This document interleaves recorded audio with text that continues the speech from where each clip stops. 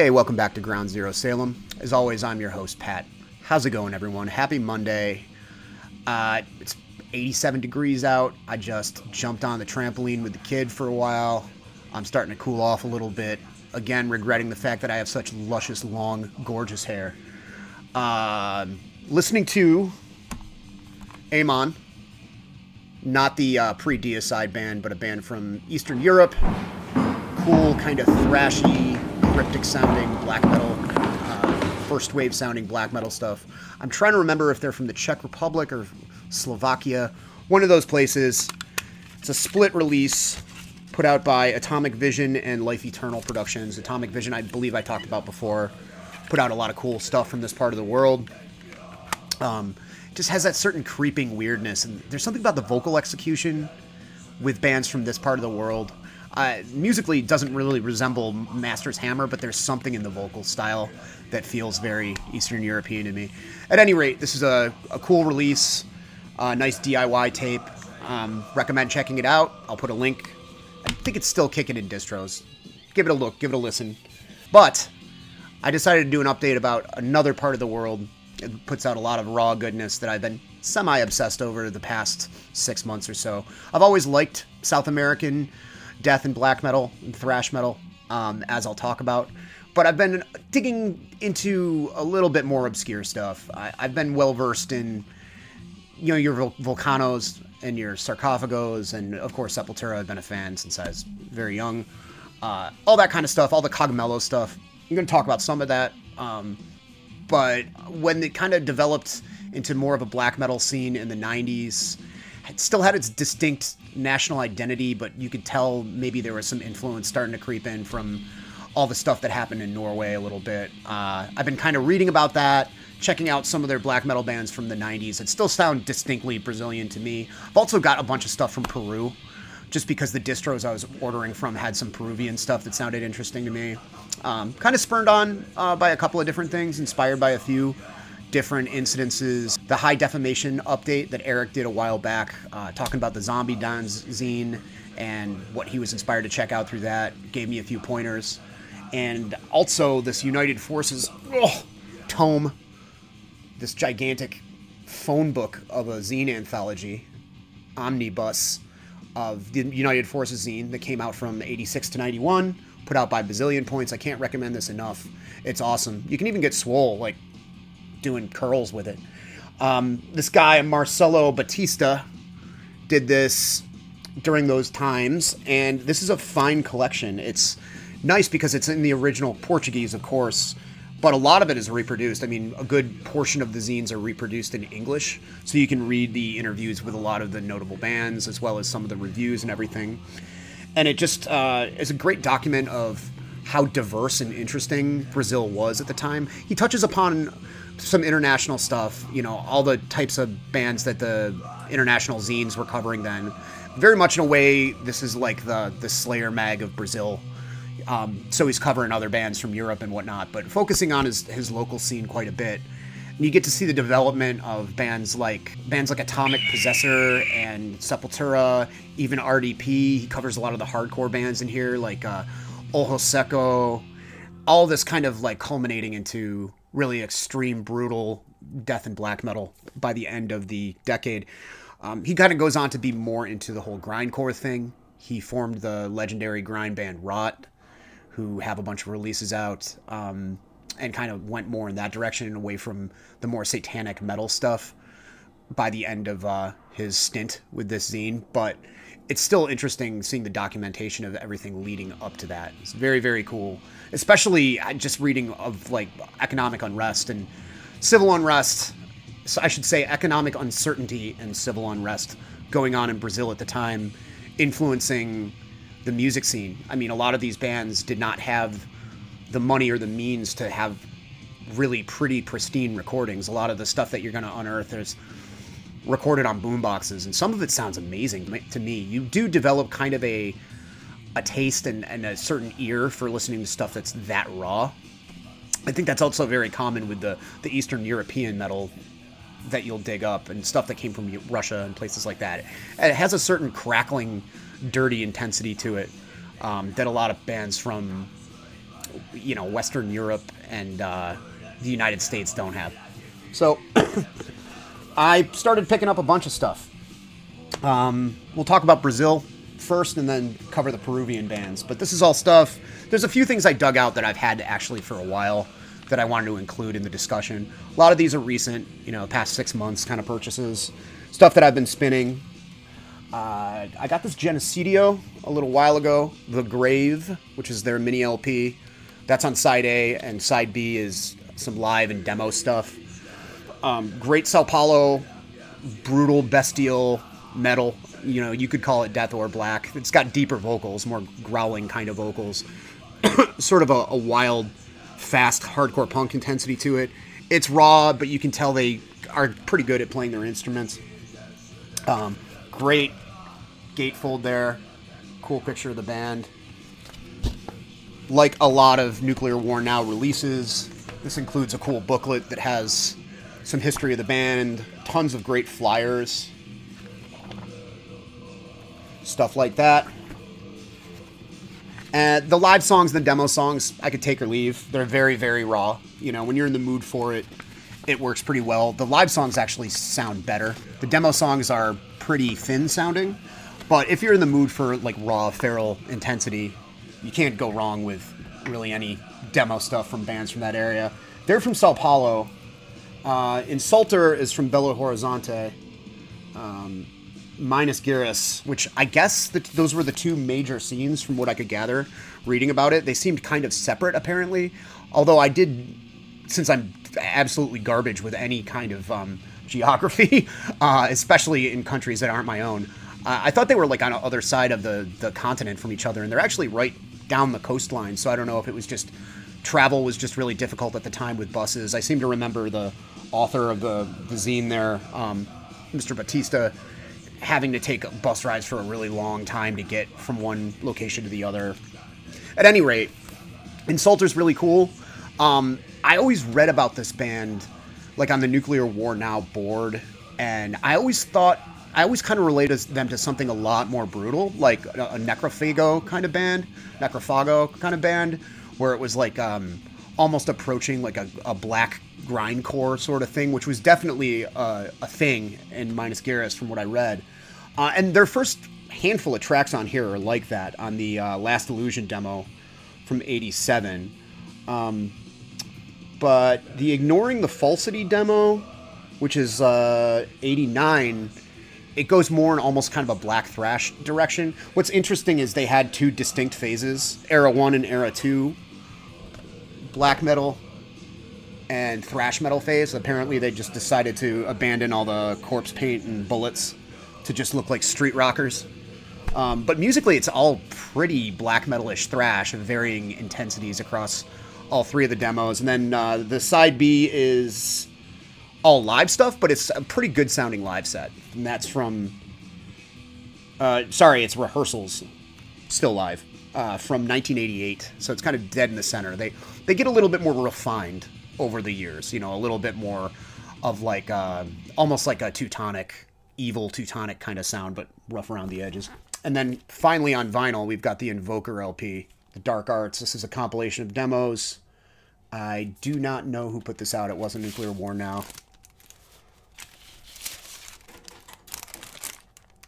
Ah, I'll put a caption. But this is extremely raw black metal. Um, sounds like a, a really cranked up practice amp like a like a Peavey combo amp, like a small one, just put as close to the microphone as possible and turned up really loud and it's awesome. It, it sounds like a swarm of bees. the the guitar tone got really creepy, uh, just wretched sounding black metal style vocals and it is fast. It's off the rails, um, kind of thrashing, blasting, fast parts, but very uh, very hypnotic um, doomy almost slow passages that are really, really entrancing and really creepy. Very, very cool release. This compiles, uh, let's see, Church of Devils Worship demo, uh, the Dark Axe demo, and a rehearsal. So this is straight up black metal, and I feel like it's kind of branching out from what maybe what you'd expect from stuff from South America. Like it's it doesn't necessarily sound Scandinavian or anything like that, but it it sounds like it could almost be in the same level as like the Samael demo or something like that. Then we've got Profane Creation with Nama. This is also kind of doomy black metal stuff. A lot better production though. This is on Triumvirate of Evil. It looks like very uh, mournful.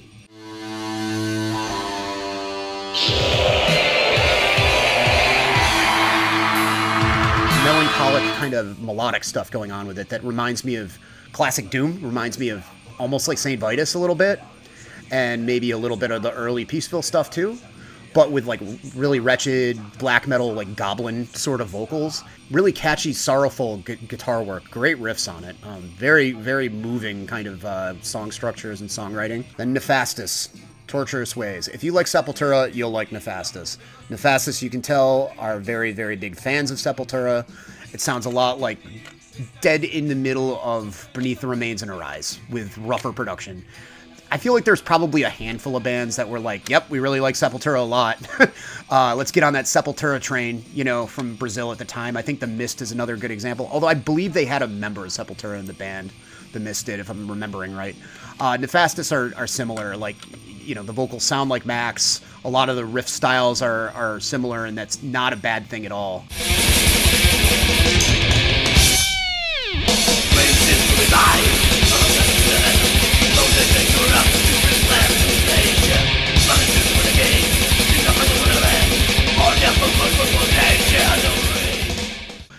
They're kind of doing their own thing. They're like I said, they kind of sound in between those two records. It's firmly out of their like satanic Sepultura era. You know, it's it's they're not trying to do a bestial devastation kind of thing. It's certainly cribbing notes from the albums that they got a lot of success from, but they do it very well.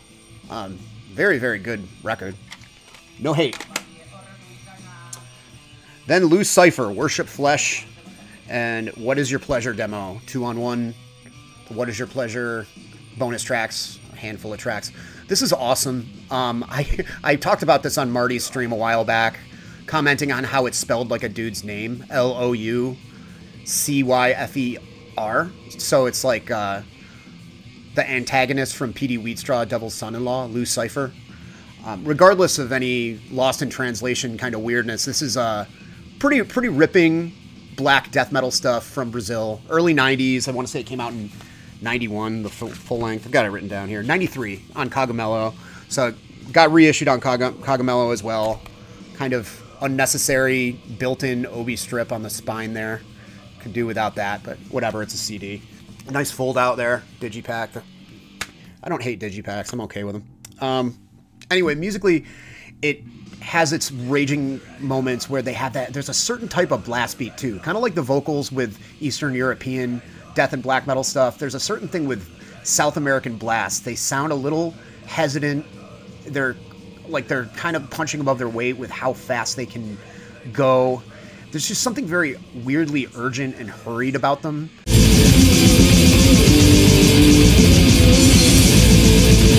That I, don't know. It's something. It seems characteristically South American, and I love that about it. There's a bunch of that kind of blasting on this, and also really pulsing, heavy, slow moments. And underneath it all, they're kind of wearing their influences on their sleeves a lot more than I think a lot of their contemporaries.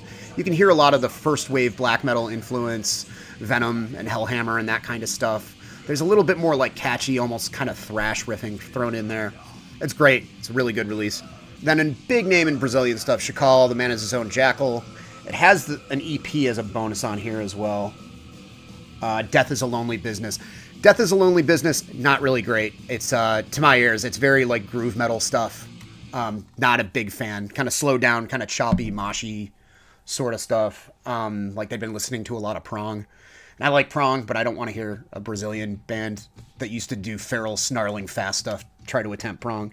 Um, the Man Zone Jackal is great though. It's a lot more uh, technically adept and a lot more um, maybe a little diluted on, in the energy department from their debut, but it's really makes up for that with being like a very structurally sound, good thrash metal record with a Brazilian flair to it. Of course, it's very much firmly Brazilian thrash inspired probably a lot more by Bay Area stuff, but it's it's still got a certain bestial kind of edge to it that is great.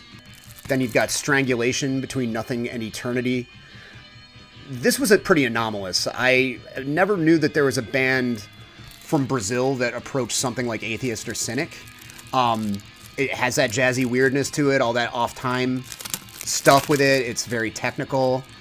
Uh, it is firmly death metal, but it is technically adept and jazzy and weird. Uh, you know, firmly death metal style vocals and everything, uh, but rough recording.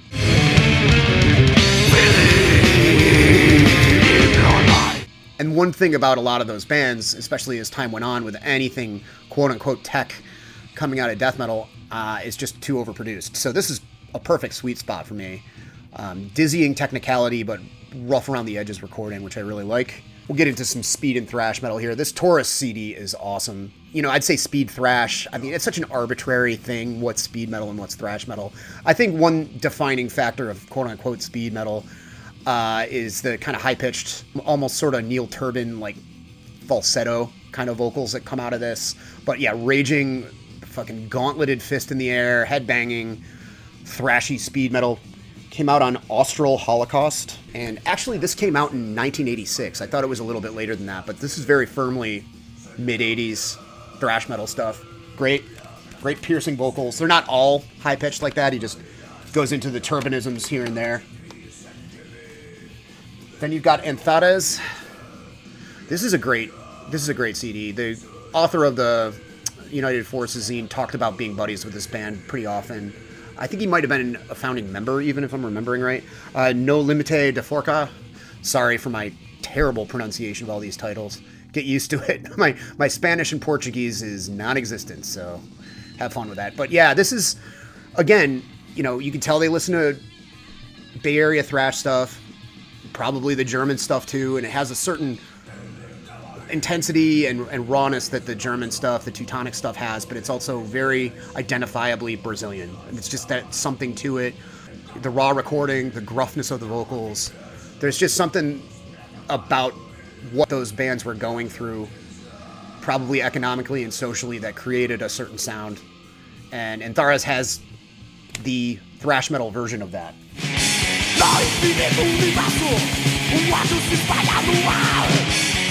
And then what's funny is I was listening to this a ton. I was like, okay, this is a lot more cleaned up.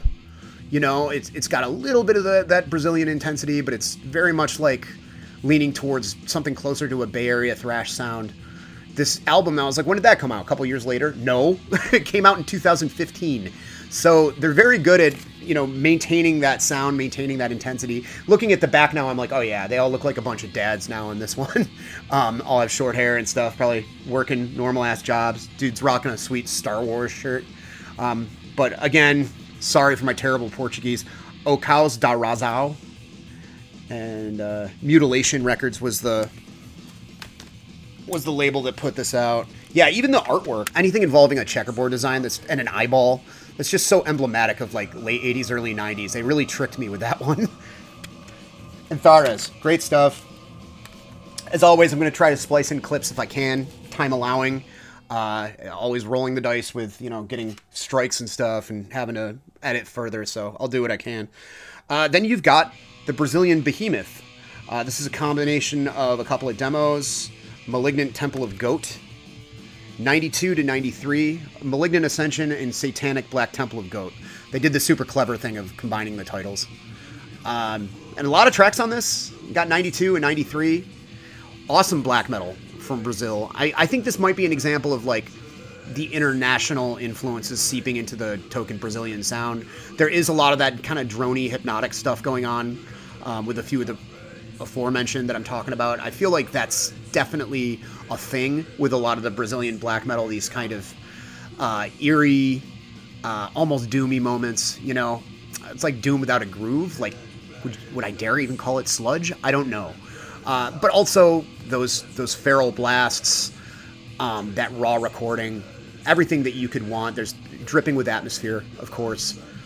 Killer, killer black metal stuff. Um, I know that Eric talked about a record that was a 12 inch EP that wasn't included on this. And there's there's some recording moments on this where like a little bit, little bit of wow and flutter, like the recording drops out. It's definitely raw, but it doesn't detract from anything. I, I think it adds a certain charm.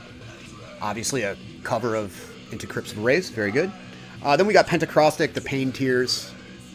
This is very cool uh, doom death with a touch of black metal. I'd say it's equally inspired by early Samael as it is the uh, the Peaceville stuff and their own homegrown black metal and death metal kind of sound.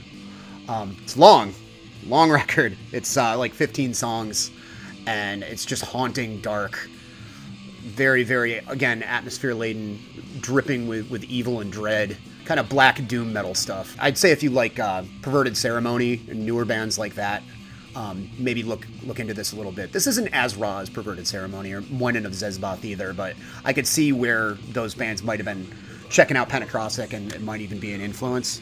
This is also early 90s. Yeah, this originally came out in 1992 and reissued by Triumvirate of Evil. Then you've got the Almighty Mystifier. I mean, what can you say? I think after Sarcofago and Sepultura, Mystifier might be the most recognizable name from Brazil, arguably. Maybe up there with Vulcano, Chakal, you know, that kind of stuff. Mystifier also were firmly, like, more blatantly weird black metal. I don't think Sarcofago was so early and they had the spikes and the makeup and they were an influence on the Norwegian stuff. Mystifier came along a little bit later, if I'm guessing right. I could be wrong there. Uh, this demo is from 89 originally. They got their start a little bit later, and I think they embraced, like, fully being black metal a little bit more. It's just my own my own spin. Uh, take it or leave it. These are their demos from the late 80s, early 90s. The Evil Ascension Returns and Tormenting the Holy Trinity. Again, raw, feral stuff. Uh, not too dissimilar from a lot of the stuff I've been talking about.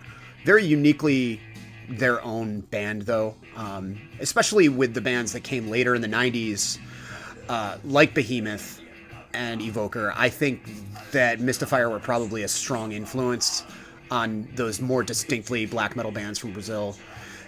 It's got that loose blasting. It's got the kind of drony, dissonant, you know, uh, dragging, kind of creepy parts. Pretty raw, but whoever was recording it knew how to balance things correctly on the whatever it was, four track, six track, uh, maybe eight track if we're being kind. But yeah, killer black metal, Brazilian black metal. Then you got Cirrhosis Alcoholic Death Noise. Uh, this I thought came out way earlier than it did. This came out in the early 2000s. I thought it came out in the 90s at some point. I knew that at one point or another, Cirrhosis was a side band to Sarcofago. Uh, I think Wagner was in the band in the beginning. As far as I know, there aren't any members of um, Sarcofago on this recording in this lineup. It does sound a lot like Primo era Sarcofago, though. The shotgun sounding blasts, the weird sounding drums, like the feral kind of like overdriven hardcore thrash death metal kind of sounding stuff that they were doing. I, I, with a little bit cleaner production. If you like INRI, I would say definitely peep this. It's uh, it's a it's a fun listen. Obviously, very alcohol themed. Like a lot of Brazilian stuff. There's a lot of like, oh, now it's sexy time, drinking drinking Satan sex drink kind of it's very much almost like tankard like a more like messed up version of tankard or something but brazilian you know? And then you got the warfare noise 2 compilation. This is kind of in the shadow of the original one um, because the original one had so many notable bands on it. This has witch hammer mega thrash mayhem and Amon hammer. So we got two hammers on there. Uh, witch hammer's kind of evil thrash kind of sounding stuff. I'd say it's like not too dissimilar to a lot of the more black metal leaning first wave Teutonic bands. Kind of in that vein. Uh, Mega Thrash is really almost kind of clean, like American sounding thrash metal, which is okay, you know, kind of like longer compositions and like a lot of like real songwriting kind of taking place. Uh, then the Brazilian Mayhem is that's my pick for this. Awesome. Uh, I wish there were more songs by them on here. There's only two. I need to hop onto Discogs and see what else they have. Like if it's just a demo or maybe they have a mini LP as well. I don't I don't know. But the Brazilian Mayhem sounds like the most out of control parts of very early Slayer, like the Metal Blade era Slayer stuff, but only the really fast moments. None of the you know, building tension kind of moments like Hell Awaits or anything. Just the fast, crazy stuff. Maybe as, as far as uh, Reign in Blood, because that's all a full throttle record. Um, and just the most aggressive elements of, of early thrash metal with just brutal growl vocals over it. And it's, it's super mean. It's really good. And then Amon Hammer, which almost sounds like, um, like a Venom Hellhammer kind of clone. Not clone, but it sounds like a Venom Hellhammer sort of hybrid and uh, but a little bit tighter than either of those bands. It's pretty enjoyable. Okay, so that's all of our Brazilian stuff. So let's cruise on over to Peru. Bye. Now, in honor of our special guest, I've created dinner mondu. First, we have French fries and French dressing and French bread and to drink, ta-da, Peru. Um, I was ordering from a distro. I'm trying to remember which one. I ordered from a seller on Discogs uh, from Peru, I believe, from South America. It was one of those deals where it took me forever to get these in the mail, but it was worth the wait. Um, this is on Necronausea. Yeah, I think most of these are on Necronausea. They put out a lot of obscure stuff. I got three CDs by Necronausea Records that's unearthing stuff that I've certainly never heard of uh, that I really like, except for one, and I'll get into that. Uh, this is Azate la Humana. Hum- this is Azate a la Humanidad by Inextremis. This is great. It uh, it's really mean, almost like dirty sounding black thrash.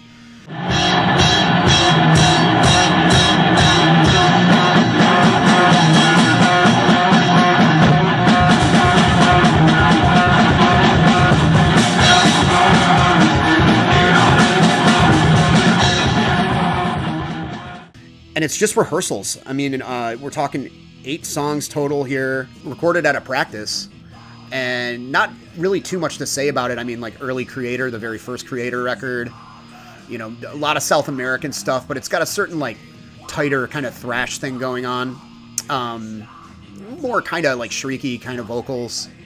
It's great if you like black thrash. If you like it raw, this is uh, this is pretty excellent. Then we've got Engendro Sistema de Muerte. Uh, I don't know if it's intentional, but this sounds more hardcore influence, like crossover, leaning into thrash on the first demo. The vocals sound a lot like Gordo from Ratos de Porão, kind of bellowed, sort of yelled, hoarse, deeper but not not death metal growls. And then the second recording on here, uh, which I think is yeah, it's studio, I believe. Um, the second recording on here, they're they're focused more in a death metal direction. Uh, still got kind of like a a sort of a crossover kind of flair to it, but it's a lot faster, it's a lot tighter. Um, starting to lean into death metal, and the vocals are solidly death metal. So, very cool. And then, I mean, I really wanted to like this this Retro Believer Slaughter, uh, another Peruvian band, the last one of the pile from this label. I mean, it's cool, um, just as a as a document of a band that was in the scene at the time from that country. But unfortunately, none of these recordings are really up to snuff for me to really enjoy them. They're so poorly recorded. I'm, i can get down with rehearsal recordings and demo recordings um, and really, really raw stuff, but it's more of like a it's more of an issue of the levels. You know, like super loud vocals and everything else you can barely hear. Uh, there's a few songs that make it through okay. I can hear what they're doing. It's like very primal, thrashy death metal stuff. It's it's cool. I just uh, it's it's really hard to enjoy it because it's badly badly recorded most of it, unfortunately. Um, and there's I mean it says demo on a few of these I think, uh, but it's uh, yeah I don't know. It's it all sounds live and it doesn't doesn't sound very good, unfortunately. A uh, few others and these are the more the big daddies of the scene. I just thought I'd throw them in because it, it fits the topic. Uh, I got a two on one anal vomit uh, CD. Anal Vomit's it's kind of funny because it's a certainly a memorable band name. And I talked to a friend of mine from Peru that lived in Boston for years, and he's been back down there for a while now. Um, I think he owns a he owns a skateboard themed bar. But anyway, he's more of a hardcore punk dude. but I uh, I mentioned Anal Vomit when he was up to visit, and he's like, "Oh yeah, they're like huge in Peru. They're like rock stars. They're like Metallica." I'm like, "Anal Vomit? really? Okay. I mean, it, they're called Anal Vomit, but yeah, I mean, Anal Vomit are a, a great mix of um, a certain South American bestial, untethered, feral sort of thing with." To my ears, like a more Teutonic kind of approach. Uh, the vocalist, she does like the Schmier destruction screams a lot, which were kind of overdone to my ears the first time I heard them, and then I learned to love it more and more. But those high pitched notes that uh, Schmier from Destruction would hit, uh, a lot of bands do that nowadays. I feel like it's a thing a lot of people invoke. Anal Vomit does it pretty well, though.